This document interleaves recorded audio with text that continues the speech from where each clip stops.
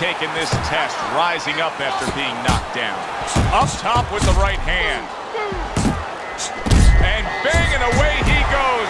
How is this going to go on? Once again, he hits the deck. Well, he's getting practice at it, so he might figure it out.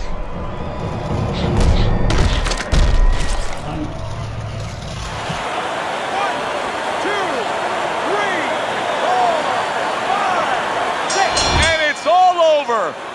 Mora's making a quick night of it. The 10 count reached a knockout win.